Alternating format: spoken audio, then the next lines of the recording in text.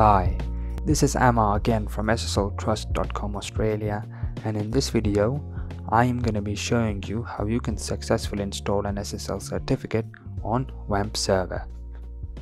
So I'm here on the WAMP server homepage and as you can see our connection to the site is not yet secure and we are going to make sure it is. So let's get started.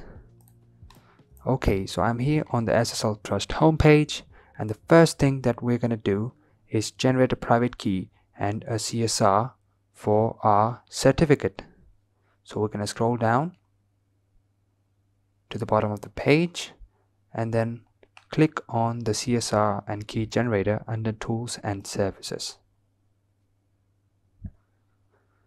So basically a CSR or certificate signing request is nothing but a request initiated by you the client to the certificate authority which contains all the necessary information such as the domain name and any business details which are stored in a hashed form. On the technical side, it also contains the public key which will be signed by the certificate authority and returned to you in the issued certificate. So we're going to scroll down now and we're going to fill in these details real quick. So type in your domain name here and the name of your organization the organizational units such as IT, the city or town that you reside in, the state or province, and the country code or the country that you live in. Type in your email address.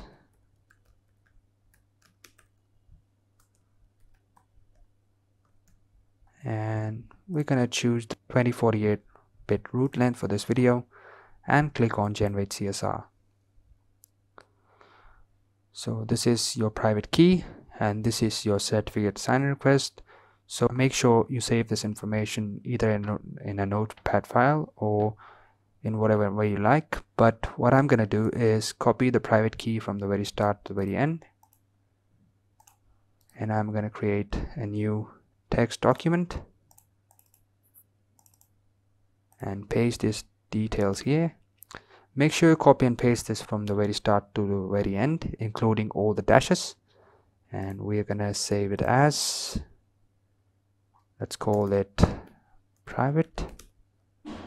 And this is not a text document. You're gonna save it as a type private dot key. And make sure you uncheck the txt dot txt document type and click on save whereas you can do the same for the CSR or the certificate signing request but I'm just gonna leave the page open so we can proceed to order and configure our SSL certificate. Okay so I'm here on the SSL Trust homepage and we're gonna move on to order and configure our certificate. Now I do need to mention the fact that since you're using WAMP server you must be doing development on your local machine and you need an SSL certificate to implement various features and to test or validate your production environment. Now you can purchase an SSL certificate for the same common name and just save your private key and CSR. Now when you move your website to the internet and purchase a hosting service, then you can use the same SSL certificate for your website too. So this is very beneficial and you can use it for both local development as well as moving your website to the internet. Now SSL Trust has partnered with various leading security authorities and we offer SSL certificates for all types of businesses whether you're a small business and you need cheap SSL security whether you're a larger business and you need more validation and additional security or whether you're you're an organization and you need premium extended validation and top tier features and you want to protect your website from hackers and so on. And we've got wildcard SSL certificates so if you've got multiple subdomains that you want to secure under one certificate this is the option for you.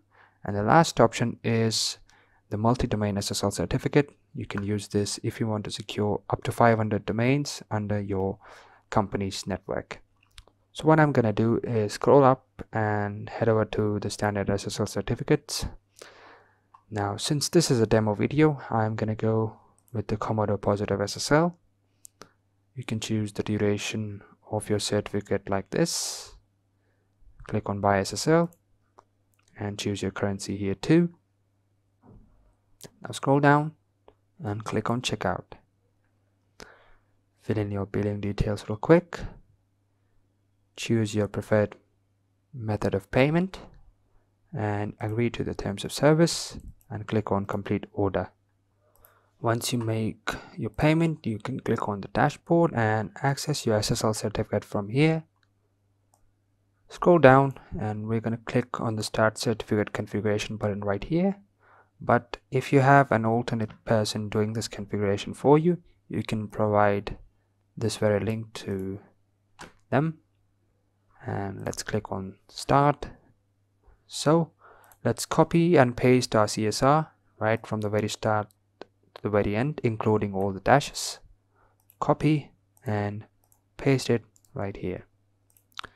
Click on the verify CSR button at the bottom to verify your certificate sign request. And server type let's, let's uh, select Apache. Since web server uses Apache so the details look just about good and if they don't make sure you redo your certificate sign request and your private key. Now click on next step.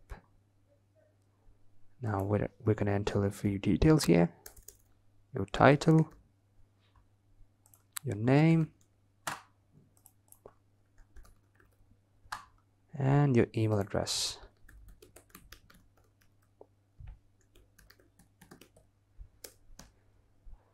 Now, if you have a technical contact doing this for you, please make sure to enter their details here. Otherwise, you can click on next step.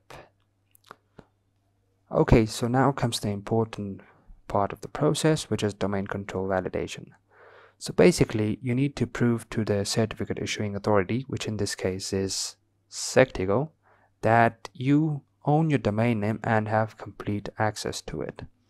Now there are various methods to do this, but the first is the email method. So basically, you should have an email address with this exact addresses, one of these, and you'll be sent an email. And upon clicking on that mail, you can click on a verification link, which will make sure that Sectigo validates your domain name and you will be issued your certificate. The second option is the HTTP file method. Now, in this method, you will have to create a text file with this exact name and you will need to create these extra directories under your server and then copy and paste these contents into that text file and then click on the check file button right here and your domain name should be validated. Now the third or the easiest method in this case is the CNAME validation method. So basically you need to head to your DNS settings either with your domain name or hosting provider depends on where you've pointed your name server to. We're gonna copy the CNAME record and head over to our DNS settings and click on add new record right here. Select the type as CNAME and the host just paste the value you've copied and the pointing to value we're gonna copy this from the very start to the very end the CNAME value and paste it right here click on save and then come back and click on the check DNS button uh, DNS record button right here and then click on search and as you can see our DNS record is not yet propagated and it will take from a few minutes up to an hour depending on your DNS server's propagation speed for the record to be validated. But in the meanwhile, you can come back here and click on the submit configuration button right here.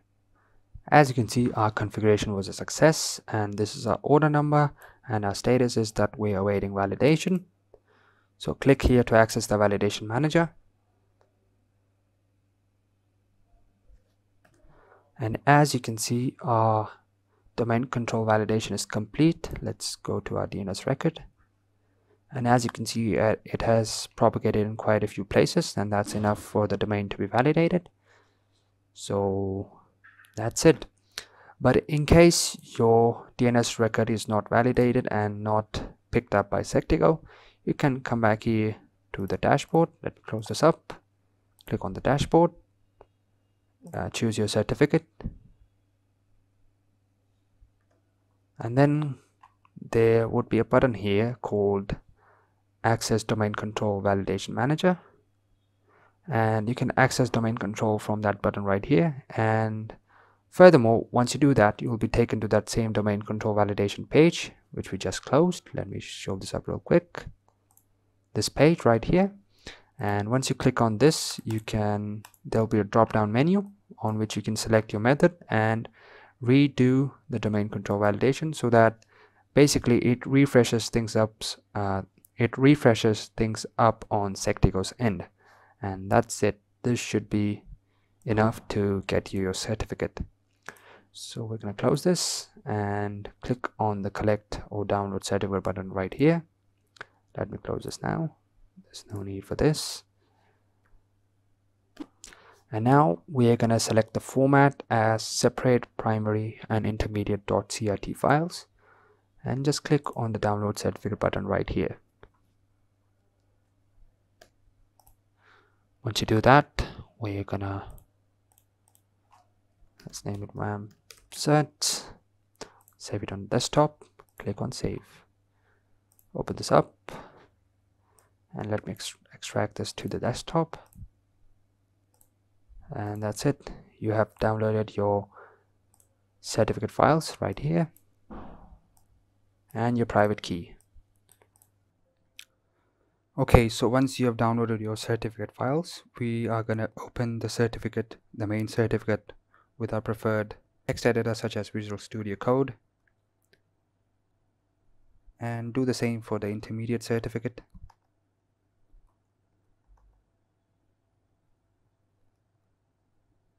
Now we're going to copy the intermediate certificate from the very start to the very end and then paste it at the bottom of the main certificate. Once you do that click on Ctrl S and save this file and close this up.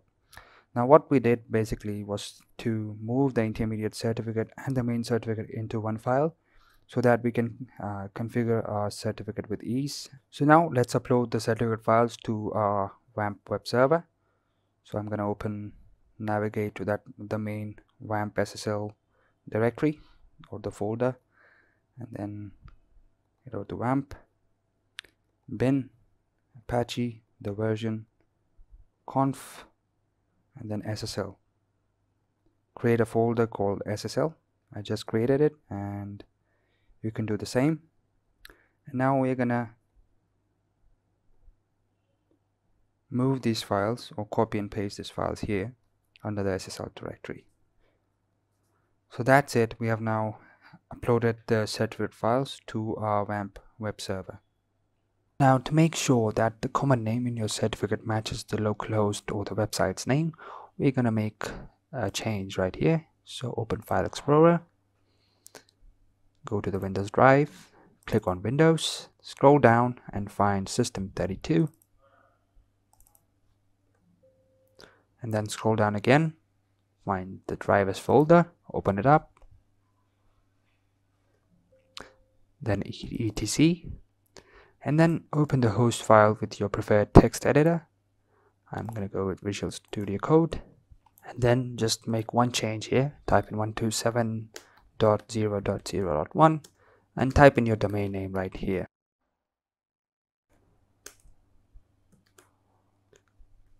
Control S, save this file, retry as administrator, and that's it. Once you save this file, you can close this up and let me verify this changes right here. So instead of localhost, you can type in your domain name now. And as you can see, it is pointing to the WAMP server so the next step in this process is to edit the main Apache configuration file and the Apache SSL configuration file. So what we're going to do is going to open File Explorer and navigate to that folder. Now I need to mention again that there is a written guide in the very description of this, of this video and you can refer to the path there. So scroll down navigate to the directory where you've downloaded WAMP so click on WAMP and then we're going to click on bin Apache the Apache version we're going to go to conf and we're going to open the httpd file. So we're going to open it with some editor. And then we're going to make a few changes right here. So the first thing that we're going to do is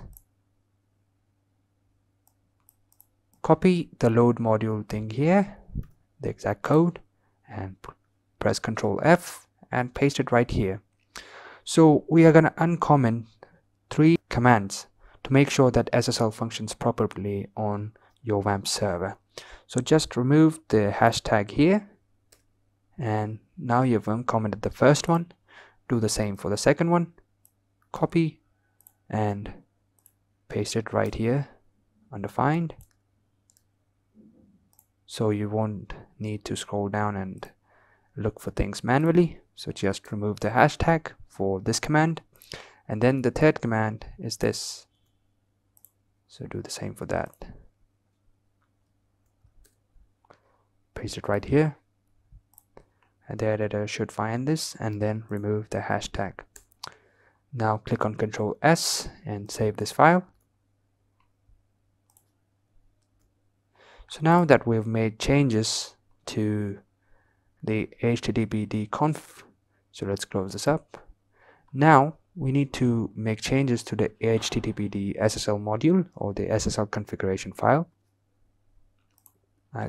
Again you can follow the path in the very description of this video in the commands or you can just click on the extra folder which is uh, located under conf. Click on extra. You can see the path displayed being displayed here. And then open httpd ssl let's open this up with the same editor and now we're going to need to make a few changes here.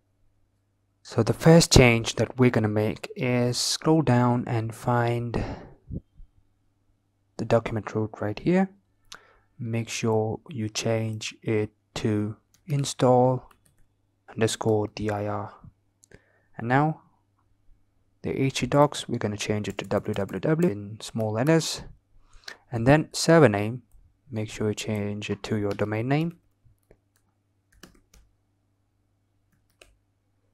And then server admin you can add your email address here or leave it as it is doesn't matter. And then scroll down and make two more changes right here. So the SSL certificate file is called it's under conf under SSL and it's called certificate.crt so we're going to change it to that and make sure that whatever path or whatever directories you use it matches the location of the file. And the same the conf there's SSL and the private key is called private.key so basically four or five changes depending on whether you choose to do the email or not. So control S let's save this file. And now close this up the last step in this process is to edit the Apache virtual host file. So we're going to navigate to WAMP again then bin apache the version and then we're going to go to conf extra and then open the vhost file. Uh, once you're in the vhost file we're going to make a few changes. Change port 80 to 443 change the server name to your domain name sslguides.com.au and the server alias we're going to add www right here and paste the domain name. Now there's two more changes that you need to make. And now I mentioned that you can find the commands in the very description of this video. And we're going to add these three commands copy and paste them right after the directory tag. Paste them right here and make sure the path matches the location of your certificate and then control S save this file. We're going to click on WAMP server and restart all services to make sure our configuration files take new configuration and come in effect. Now we're going to open the browser and type in https colon double slash yourdomainname.com and as you can see we have now successfully installed an SSL certificate on our WAMP server and our connection to the site is now, now secure. And this is our certificate. Issued by Sectigo and everything looks good. This is how easy it was to install an SSL certificate on WAMP in Windows. Now, there is a written guide in the very description of this video which you can refer to along with the video to make sure that you can easily install your SSL certificate. Now, if you like this video, give this a thumbs up. If you were easily able to install your SSL certificate, with a thumbs up. If you've got any questions, please put them in the comments below. And that's it for this video. Thanks for watching.